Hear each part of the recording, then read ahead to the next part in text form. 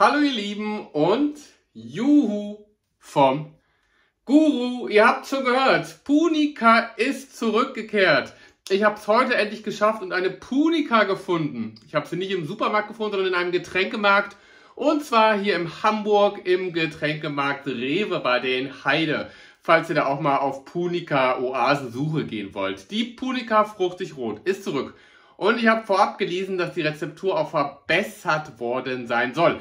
Deswegen habe ich mal drauf geguckt und mit der alten Rezeptur verglichen und es sieht tatsächlich danach aus. Zunächst einmal sind die ohne Süßungsmittel, das finde ich ganz, ganz cool, hergestellt ohne Süßungsmittel. Fruchtgehalt ist 31 Prozent. Ich glaube, früher waren es so 30 bar fruchtig, rot oder 29, lasst mich lügen, auch so um den Dreh. Was reduziert worden ist im positiven Sinne, weil viele Fruchtsäfte bestehen ja gefühlt nur aus Apfelsaft. Apfelsaft ist von 23 Prozent auf 22 Prozent runter. Dafür gibt es mehr rote Trauben von 3 Prozent auf 3,7 Prozent. Ähm, der Anteil der Himbeere hat sich auch von 1 Prozent auf 1,8% erhöht und die rote Johannisbeere war früher eine schwarze Johannisbeere, ist zu 1% vorhanden und eine Sauerkirsche ist ja noch mit 2% drin. Also diese kleinen Fruchtsorten haben ein bisschen mehr Anteil bekommen und das äh, und Apfelsaft weniger. Das empfinde ich tatsächlich als hochwertiger und ich finde es auch geil, dass es ohne Süßungsmittel ist. Punika habe ich in den 90ern echt sehr häufig getrunken, in den klassischen Glasflaschen mit dem Superschluck. Und ich habe Punika nie gekühlt aus dem Kühlschrank getrunken. Ich habe sie immer in meinem kleinen Köfferchen auf meinem Weg zur Ausbildung mitgeschleppt, eine Punika-Flasche. War ganz schön schwer. So, deswegen trinke ich die auch genauso wie früher. Besser stelle ich die jetzt in den Kühlschrank. Nee, die ist noch angenehm temperiert, sage ich mal. Sie ist nicht warm. Und deswegen teste ich sie so, wie ich sie früher getrunken habe. Meine Lieblingssorte war das fruchtig rot. Ich mochte auf jeden Fall Melon total gerne. Die Melonensorte hat mir echt total angetan. Und auch diese eine spezielle Orangensorte. Wie hieß die? Die hatten ja drei verschiedene Orangensorten. Der Classic Orange und dann gab es noch so eine, die war irgendwie anders. Ihr wisst, was ich meine. Die fand ich cool. So. Punika, wie teuer ist sie jetzt gewesen? 2,24 Euro, das heißt 1,99 Euro plus 25 Cent Pfand und dafür gibt es einen Liter. Guck mal, kommt auch aus Hamburg hier. Die haben das wieder rausgebracht. Columbus Drinks GmbH. Wie schön ist das denn? Finde ich richtig gut. Und es riecht, Leute, es riecht wirklich wie Punika früher.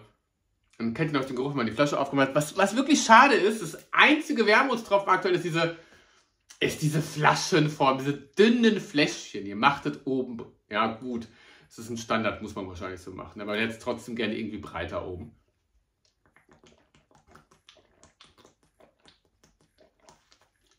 Ach, das ist erfrischend. Das finde ich lecker.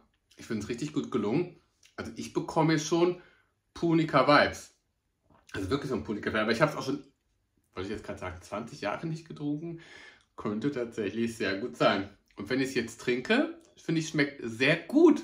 Also ich habe das Gefühl, die Sauerkirsche bekommt ein bisschen mehr Präsenz. Das hat dem Ganzen sehr gut getan. Ich finde die richtig lecker.